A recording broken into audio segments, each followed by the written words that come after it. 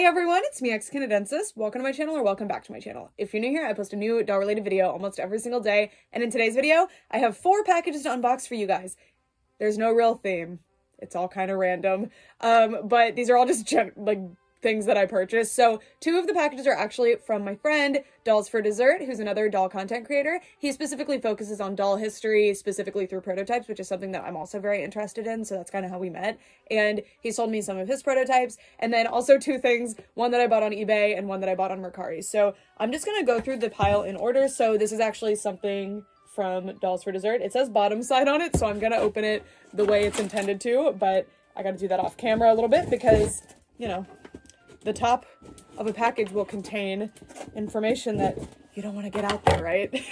um, so there's two boxes from this person because the from from Dolls for Dessert because the contents were in two different places, and I ordered these a while ago. Um, we just didn't ship them. It wasn't because he was being slow or anything, but he also said that he was going to send gifts in here. So like I know what one of the things is, but potentially there could be other things that I don't actually know what they are. So let's find out together, shall we? So um, it says, sorry this took forever to be sent. Um, um, which, again, I don't really care. Um, this was actually at somebody else's house, is the context for this. Anyway, so um, one of the things that was really cool, actually, is something that Dolls for Dessert doesn't personally collect, but something that I collect. This is something prototype material from Cave Club. Now, this is extremely cool. So um, and I got a really good deal on this as well. I don't 100% remember what I paid, but I think it was like 40 or 50 dollars. But anyway this is the first edition emberly but this is what's called like a test pilot i think. Some kind of sample along the way. And by the way the word prototype just means anything used in production. So if i sneezed on a tissue and used it in production in some capacity it's kind of a prototype. Obviously i'm exaggerating there but that's why i use the word prototype. It's kind of a catch-all. But this more specifically would be a sample. So it's not necessarily like hand painted or hand sculpted thing. Uh, so what this is is they used whatever plastic they had on hand. I believe they used different colors to represent different things so that for example i think this uh, hand material is or i know this hand material is different from the rest so i think that's why they use different colors. But if anybody involved in toy production has anything to chime in please let me know. Everything i know is from piecing it together myself or the few things that are available online for me to read. So anyway as you can see we have emberly we have her accessory which is her little club that turns into a little torch and that is actually super super cool. And then we have the comb we have the shape of everything the packaging. This was basically to test if they liked the way the packaging looked before they i guess had a chance to print everything. And you'll see that they actually used cuts from the packaging for this barbie i guess. So that kind of gives you a timeline of some sort. I wonder what year this barbie is. Must have been 2019 if i had to guess but i don't know. Can't find the date on here. It's probably cut off but Anyway, this is extremely, extremely cool. I was curious about the hair type, but I think it's the same. And I love, uh, forgot that it's not feral because that was, I don't remember Emberly's dinosaur's name. Unfortunately, Cave Club went under, so I, I'm not super uh, caught up and like, well, I'm caught up obviously, but that was two years ago when I was caught up, so I've lost some of it, so I don't remember the pet names. Anyway, we also have some other prototype materials also from Mattel, so we have this hat, whatever it is. Basically, Dolls for Dessert had some extra stuff and was like, do you want it? And I was like, yeah, I specifically wanted Emberly, and there's a few other things in here too that I was super interested in, such as what is in here. So um, perhaps the time has made me forget things. I definitely remember this. This is, uh, through the, no, oh my god, Spring Unsprung. Spring Unsprung Cedar from Ever After High. And as you can see, the doll is finished. Like, this isn't a hand-painted prototype or anything. Everything's stamped. It's normal. Except her accessories and her clothing are made out of different materials. So this is, if you can hear the train, I'm sorry. This is actually super common, and you'll find prototype materials it's not obviously common because it's still prototype, but within the prototype world, these are kind of like chump change. They're everywhere. They'll use different types of fabric to test if they like the pattern and the fit of an outfit uh, in production. So obviously they tested the pattern and everything in-house, I mean most likely, but then the, like, they make sure that they can do it in the factory essentially, and that's where these sorts of samples come from generally. So, um, I'm gonna venture to guess this fabric is something to do with Wydowna Spider, but I actually don't recognize the fabric. Uh, I wonder. And then also the accessories are all just done in this red color and her tights are a different color. So I thought that this was so cool and I specifically really did want this one because I really liked how the red looked. I thought it was really interesting. And yeah, so this is just a, it's not the same sort of test pilot as this Emberly, like this is definitely much earlier of a test pilot obviously, but this one was clearly testing because they didn't have to test the body, right? Like the bodies were done by this point, Forever After High, of course, because this doll came out in like I want to say 2014 and Ever After High came out in 2013. So prototyping Forever After High was late 2011 into 2012 probably. If I had to guess, it could have been earlier. Most likely not, but yeah. She also has her ring. I don't know, so so so cool. And then again, I don't recall. I feel like these are the two that I purchased, but there's also an Astranova in here and oh my gosh, she does not have the magnet, and there's some kind of writing here probably indicating the magnet. She has blonde saran hair. This is just Barbie's saran hair. Uh, she actually seems to have, am I mistaken or is this her material? I don't know because I feel like hers isn't just one color, right? Like it has something else going on. Uh, and then her shoes, and you can see that her body, it's the sculpt, but it's done in the wrong colors, again, because this is a test pilot, and Astranova had a special body sculpt, of course, that was all new for her. But the head is done in the indigo color of the final Astranova doll. So uh, this one, I'm gonna have to ask about this. Again, this um, deal was struck a year ago, so I could just be mistaken, but I don't actually remember Astranova. But if this was a gift, thank you.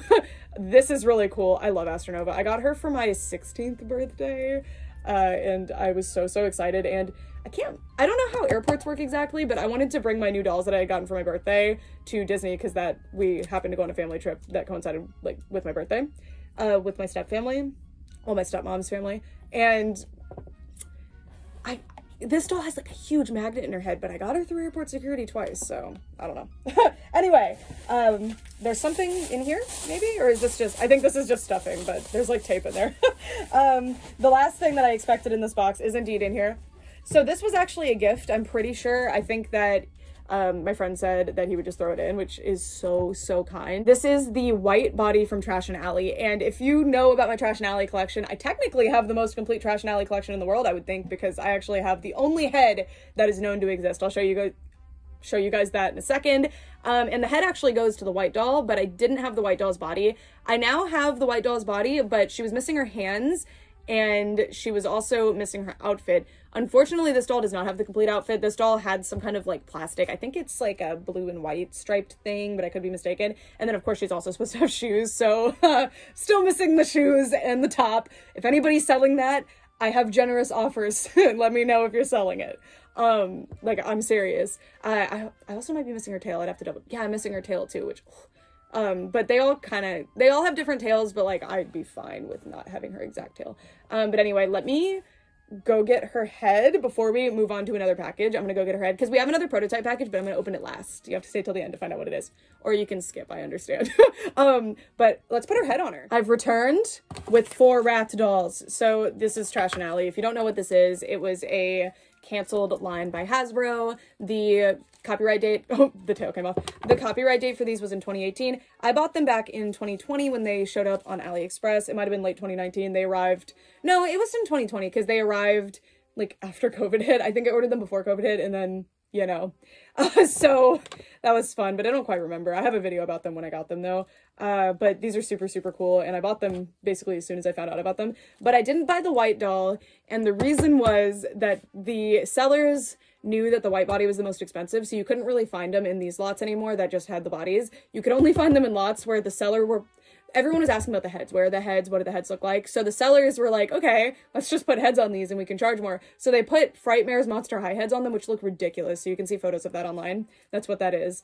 Uh, and I was like, I'm not spending $30 just on principle. And now I feel like an idiot. Um, but I'll pay a lot more than $30. A lot more if you have the white body or even if you just want to sell me the shoes and the top, you let me know. But anyway, um, yeah, so I have a partial white. It's so funny though, because I have the head. I have the only head. Uh, it's not known if any other heads actually exist, and I did speak to somebody who would have authority on that, and I'm not sure. The the answer was inconclusive. Anyway, so these dolls don't actually have a neck joint, so you can just pull the head right off. Also, this tail is not Trashion Alley. But anyway, this was the body that I had. No hands, no clothes at all, but it does have cool writing on it from 2018, uh, from the factory. But anyway, now I have a new head or a new body for this head. Woohoo! Yay! So there we go. we have a partially complete Verbena. If her name's Verbena, we know that from the tag. And also from confirmation I've received. But anyway, um super cool. And the deal that was brokered to get me this head was actually facilitated by Dolls for Dessert, if I didn't say that in the other video. I feel like I did. Um, but anyway, yay. Super, super yeah. cool. So I'm so grateful to Dolls for the Dessert because again, he gifted me this body because about the other stuff and he was just like, I want you to have the body. And I think this was maybe before I bought the head or around the same time I bought the head.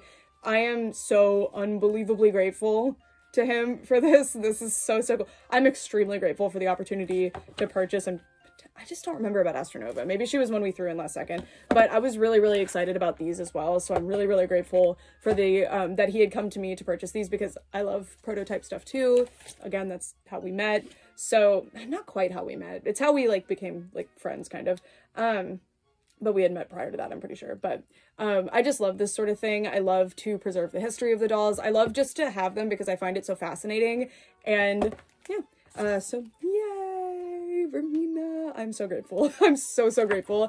Uh, but we have to keep this video moving along. So I'm going to open up the next package. So, well, the next package was actually the one from him, the other one, but we're not going to open that. So I bought more stuff from him more recently, actually. Um, anyway, in this box. I already opened it just to make sure something was in here because it felt like actually empty. Okay.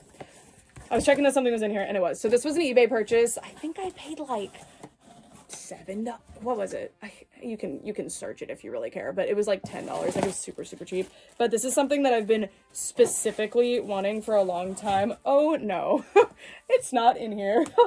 Oh, no, no, no. Sorry, you guys, I got really scared because I opened it at the post office and I had seen this, which is the confirmation that what I purchased was in there. And then I opened it here and it's not there. It was, it fell out of the box. It was on the floor right below my desk, so we're good. Anyway, if you've been following my hauls and my thrift hunts for the past like two, maybe three months, honestly, I've been talking about Barbie Cats. I became really invested in researching Barbie Cats through Dollect, which is an interactive doll directory website and also like a social media kind of uh, for doll collectors. It's totally free. I pay for it. I foot the bill. There's no ads or anything. I cannot possibly profit off of it. Um, and also it's in like the terms and conditions that I will not be profiting off of it. So uh, it's just, it's my gift to the doll community basically. But um, I did, I was doing research on Barbie Cats for it because I was just curious about Barbie Cats and I found a like pretty good list, but it wasn't exhaustive. So I really wanted to know how many Barbie cats exist, and there is something coming of that soon on my channel. I needed one more thing to make the video in my eyes, and I got it. So this is Tag Along Tiffy, and this is one of Barbie's cats. I don't remember the year. I think it's 90s. Uh, maybe it says on the tag. I really hope so. 90, 1992. It could be a year or two off from that, though. Uh, but look! So this is Tiffy, and this is one of Barbie's cats. And the gimmick with this cat is that um, it actually moves. So I think that it is not like truly electronic. I think it just has wheels because, let me show you. There's a hairbrush and scissors here if you're wondering. There's the, there's the movie magic killed for you. Uh, anyway, this cat is really, really common, actually. You can get this cat any day for super cheap. But I really wanted at least one accessory, and that was the leash this is Tagalong Tiffy. Her entire gimmick is that you can walk on a leash. And yeah, I could just like make a leash, but I wanted the leash. Uh, and then I also started getting a little bit more greedy and I also really wanted to have the magazine because it says Cat Magazine as a picture of Tiffy on it. It's just so funny. There's nothing inside. It's like a, you know, the old style Barbie magazines where it's just a piece of cardboard. But yeah, I needed it. So it was really cool that this lot came with it. And this was totally random, actually. I had just been to the thrift store and I got she just happens to be here still. Mitzi Meow. Not necessarily at a thrift store, but at a like toy thrift store. But um I really wanted Mitzi Meow, but uh she was fairly cheap, but her gimmick is not that interesting. But I didn't really have videos on the internet of the gimmick, and I kind of needed that. So finding her in person was really convenient, and I'm gonna have to put batteries in probably. But yeah, so this is Mitzi Meow.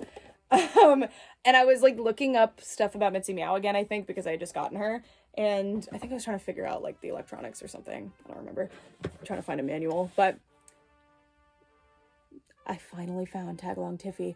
And I've been looking forever again, and I just haven't been able to find her. Like, ever since I first conceptualized this doll cat journey, I wanted to get Tiffy, and I couldn't get her for, like, a price that I thought was acceptable, and I was so frustrated by that. But anyway, um, I think the way it works is that you loop it around this little collar, which is why it's always missing, and then you just stick the collar on the cat. I'm gonna have to double check, but I think it's like this. And then your your Barbie can walk the cat. And I guess we needed wheels for this. It couldn't just be a plush that you drag. I mean, it's cute. I don't actually think it's electronic. I always thought that it did, so I've learned something. Uh, which is good. But anyway, this is Tagalong Tiffy. And the way she was actually listed, where I finally was able to get her, was it was Tagalong Tiffy, all one word. And I got her. So I don't know how long this has been up. Oh, and you also get Whiskas brand cat food, um, which seems to be an actual cat food brand. But I feel like Whiskas doesn't still exist. But 1992. Uh, this is in kind of bad condition, but the seller taped it up probably um, when they originally owned it, whoever originally owned it, to keep it nice, which is cute. So I think this is everything except I think there's a food bowl and there's other colors of the leashes, but I'm just, I just needed one. I just needed one. And I got one, so I'm very happy. So can't go the whole video without a Barbie cat, huh? You can't do it. Secondhand haul, I should say. Anyway, so stay tuned. Okay, this next box is from Mercari. Okay, I can tell you the full story of this because I don't have to gatekeep anymore because, well, whatever, it's fine. So there's a Little Mermaid doll that I got two dolls from the set recently, and I think it's called Tropical Splash. I got Tropical Splash Alana and, or no, it wasn't Alana, right? It's Aquata and Arista, I think. I don't remember off the top of my head, but um, I got the two Tropical Splash Ariel Sisters dolls, and that line is Ariel, her two sisters, I think there's Eric or something in the line, I don't know, and one more. And her name, I think, is Kayla because that would pertain to this package. And she is super, super cool. I really want her, uh, but she's pretty expensive. You can find her for a good price, but you just have to get really lucky. Like, it's totally random. It's just whoever decides to list her that day. Because the other ones aren't really worth very much, so you can get her, like, new in box for, like, 40 bucks sometimes, and she's from the 90s, so it's pretty cool. She might... It's the 90s, right? Like, that's a late 90s doll, whatever. Uh, so I, I happened to just search her on Mercari on a whim, just the day after I got that package. I was like, I wonder if I can get her and this doll came up. This is a grail for me. Uh, I'm gonna uh, like um, divert your attention to here. There, see that? That's Mermaid Fantasy. I had, oh my god, this is like actually annoying. Sorry, the the cardboard scraping up against the table. I'm trying to point, but like, okay, I had the pink. I'm I'm gonna stop with the gimmick. I had the pink haired one when I was a child and she was one of my favorite dolls. I still have her. I absolutely love her. And I managed to get Christie at a thrift store, and then my friend sold me another one. So I have three of Mermaid Fantasy Barbie and two of Mermaid Fantasy Christy. And the one that I don't have is Kayla. Now, you might know that that name is familiar because it's the name of the Little Mermaid. That's the box from earlier. Um, it's the name of that the Little Mermaid doll that I was referring to.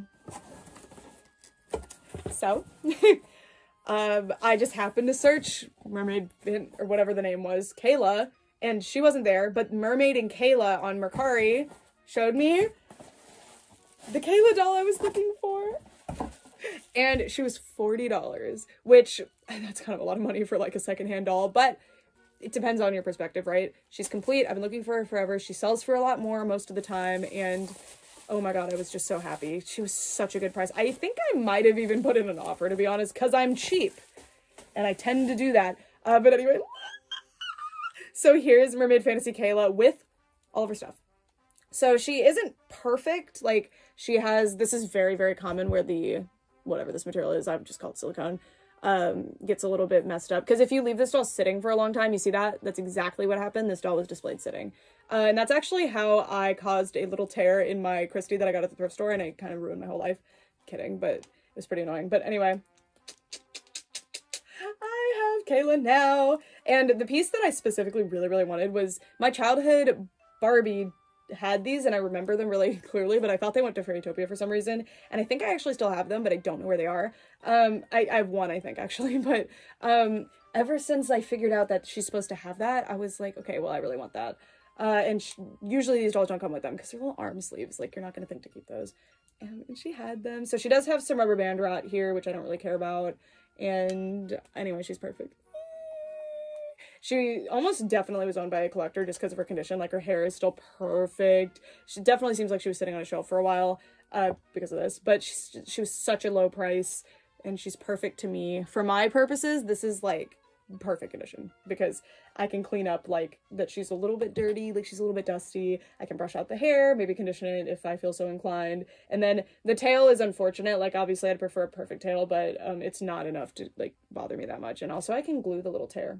So I finally got Mermaid Fantasy Kayla. And you know what that means? No, you don't. Um, Mermaids Mermaid stands are basically the only stands that I can use with these because they're tall. Um, they came with the Winter Waves dolls, if you're wondering. If you have these dolls and you want them on a stand, um, and you don't want to use like an ugly Kaiser stand or something, I, I have a vendetta against Kaiser stands, if you didn't know. I hate them. I just hate how they look, and they... Ugh. Anyway. Um, Mermaids Mermaid stands are perfect. Um, so I'm gonna have to evict one of my mermaids mermaid dolls, but that's okay because I have stands that work for them that don't work for these. And the reason for that is like I can't bend the tails on these because any bending at all on display will cause one of those rips. You can bend them just fine when you're playing with them, but if you like have them sitting for a while, it will rip. So you don't want to do that. So mermaid stand is getting taken away again. Whee! And if you're a, if you're a mermaid enthusiast and you have a lot of doll mermaids, like the um Fairy to Mermaid Alina doll from Fairytopia. That's also what you're going to want to use. Mermaid stands. Perfect. Anyway, okay.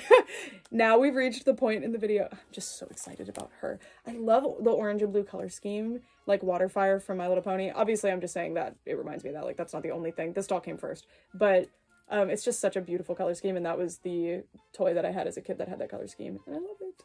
So, anyway, now I finally have the full Mermaid Fantasy set. And one of my first dolls ever was Mermaid Fantasy Barbie. I was born in 1999. These dolls came out in, I think, 98. I might be wrong. Somewhere in that, like, 98 to 2001 range. So, like, that was one of my first dolls ever. So, it's taken me my whole life to complete the collection.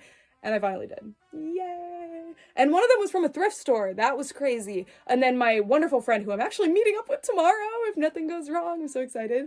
Um, sold me the other two. So, anyway, a great time. Now it's time for what you've been waiting for. Prototype box number two. I didn't show anything, by the way. That's a that's a barcode for the box. But let's open this up. So there's something like mind-bogglingly cool in here. Just so you know, um, you'll see. I was I'm so pumped about it. Um, and also again, like a really really fair price for what I got. There's a bunch of things in here. Ah, okay. Three bubble wraps and one spoiler. Um, I'm gonna open this last because this is the, in my opinion, coolest thing ever. So starting off, V open. I was trying to do like French, but V open. I don't know. We open this one, and this this is a G2 like test pilot of some sort. Uh, but what is cool about this one is that the dress is from an unreleased line. So this is an unreleased dress within like Monster High prototype collecting spaces, this is relatively common. Like these dresses were actually produced. Um, not not produced in like huge numbers, but they they're out there. Kind of like the Trashion Alley bodies. Like there's more than just one or two of them. There's there's quite a few. But I wanted this really really bad, and I always miss out every time someone's selling one. Anyway, for selling anything Monster High G2 that was unreleased, I pay generously. I'm serious. Like please call me up. Something. I don't remember what the line name was called. Howlin' Hoodies is my specific goal. This isn't Howlin' Hoodies, but it's so cute. And this goes to Venus. So it's this really cute green and pink umbrellas situation. And also, I don't know if this body actually like came with this dress or what the deal is, but it's one of the like super budget bodies. But it is painted green, uh, and it's a Draculaura body, as you can see by all the pink. Uh, and the green paint is chipping off. And I think it looks cool. And then also these shoes, which I actually didn't know were in here. I don't think they're related. Maybe they are. I don't know. But yay, super cool. I, I really like Monster High G2. I know that's an opinion you're not allowed to have, but I don't care. I love it. Okay. Anyway, within this one, we have, this is what the spoiler pertained to if you saw it. This is a pilot body of some sort for the Glowsome Ghoulfish. I think that's the line name a Great Scary Reef Frankie doll. I believe I have two of this doll. I have one that was sent to me that I think is like has plenty of stuff, and then one that is not very complete. Uh, so I can put the head on this one at least. Um, or I'll just display this as a prototype piece as it is. I'm not sure. Um, but this is really cool. The material is all wrong. It's super hollow and strange. I love that the neck bolts are see-through. So, so cool. And um, this these are actually like broken because I think the material is like, it's not the material they actually use for the dolls. Like, do you hear it? It's weird. It's super hollow. Um, and these are also a little bit broken too, but this is some kind of pilot piece used in production. You can see like parts of how the build work. And then this is the tail, the rest of the tail. So it doesn't really like stick together super like permanently because it was just used to like show that the sculpt worked and we can proceed. So for example, this is really cool actually for how you would put this on is like how they would do it in the factory because you have to like loop it through this little thing to actually get it on. So let's do that. I'm so scared I'm gonna break it. There we go. Um, yeah.